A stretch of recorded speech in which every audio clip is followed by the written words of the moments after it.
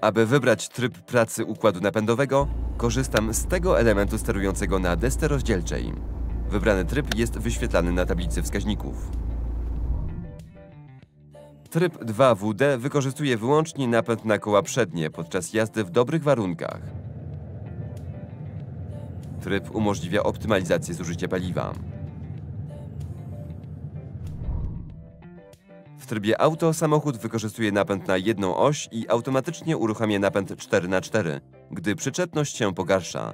Tryb auto automatycznie rozdziela moment obrotowy silnika między przednią a tylną osią, aby zapewnić optymalną trakcję i bezpieczeństwo.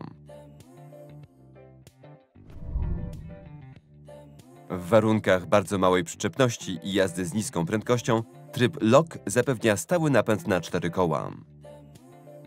Tryb doskonale się sprawdza w warunkach słabej przyczepności, takich jak jazda po śniegu, błocie, piasku i jazda z małą prędkością. Podczas jazdy po luźnej nawierzchni w trybie LOK zalecamy wyłączenie układu przeciwpoślizgowego kół napędowych. Aktywna pozostaje wyłącznie funkcja kontroli poszczególnych kół poprzez sterowanie układem hamulcowym. Układ hamuje ślizgające się koło lub koła i przekazuje moment obrotowy na koła, które mają największą przyczepność.